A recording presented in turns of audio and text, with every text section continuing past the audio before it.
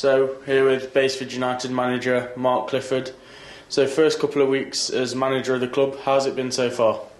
Yeah, it's um, it's been enlightening. It's been interesting. It's gone really, really quickly. The game's come round thick and fast. Um, but I'm fully enjoying it. Um, and you know, hopefully, it, there's, there's been some changes in in terms of how we play and how we're training, um, and hopefully, we start to see the fruitions of that come come come on Saturday. hmm And in between spells as manager, you've had a period of time, a period of time, sorry, in the boardroom. Does that time upstairs make you see things slightly different now, maybe as manager? Yeah, definitely, and I, I think you know what it was. It was a great. It was a great time. You know, towards the end, it wasn't.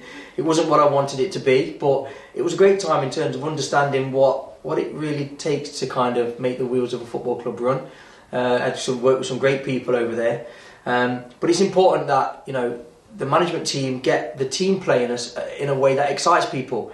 Um, that that helps people come to the ground. It enjoys the style of play. People come with a smile. They want to see us having a real go, um, and that's that's kind of what I want to bring to this. Is you know, let's entertain people. Let's let's have a go at teams. You know, um, you know we want to put the ball in the box. We want to get after teams, and ultimately let's we want we want the fans to be entertained when they come. So that's that's what I'm setting out to do. Obviously, you're now working alongside Liam Hearn and Wayne Scott, two familiar faces at Basford. Can you touch briefly on their roles with you?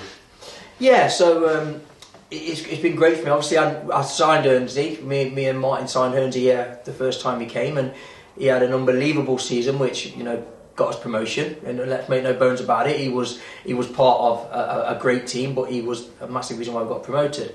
Um, and Hernsey's been away and, and, and, worked at his coaching, and he's a fantastic coach. Um, and it was important that I had someone with me that could could take up that mantle a little bit because you know I like to coach and I want to be out there and I, and I want to coach, but you need somebody else to do that so you can take a step back sometimes and, and have a look at, at what's going on and have little quiet words in people's ears. Um, and so that's important that I brought someone in like Hernsey that can coach and he's been superb.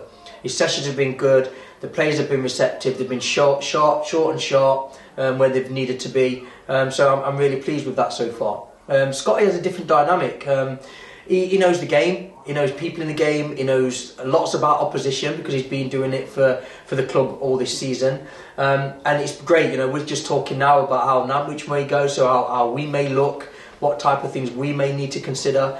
Um, so it's a great dynamic and, it, and it's working well so far. Hopefully, um, we'll see the fruition of that as well on Saturday. Mm-hmm. Uh, as you just mentioned there, how between you do you go about kind of changing the dynamic in the field to get us back on track towards the end of the season and beyond then?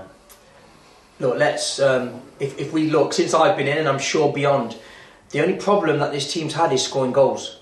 Um, it's a great squad. There's some great people in, in the team. It's a fantastic club in general.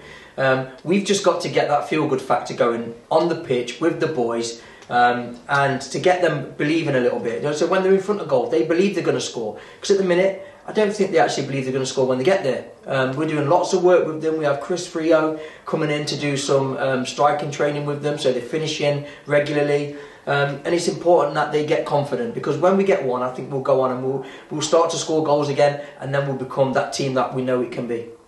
And now, obviously, we look ahead to Saturday with your home return as manager against Nantwich. How much are you looking forward to getting back in front of the fans, and do you have any messages for them?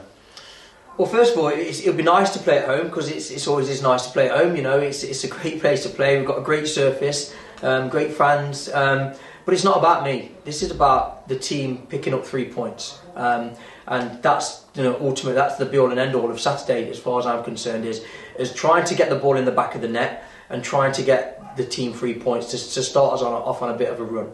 Uh, in terms of a message to the fans, is come down, get behind us as you always do. Um, give us give us that bit of that 12th man, and, and it'll, it'll, get us over the line to those three points we're after. Mm-hmm. And how are the players ahead of that one? Are they in good spirits, and are you going into that game with a fully fit squad?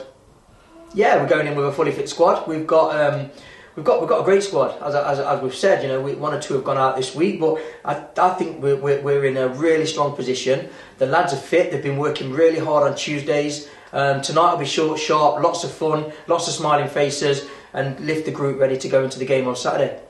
Mm-hmm. And finally, we uh, Basford have welcomed the loan signing of Tyreace Palmer from Notts County. What do you think he's going to bring to the table? I think he will, he will add a little bit of quality potentially when we need it and, and in the right areas.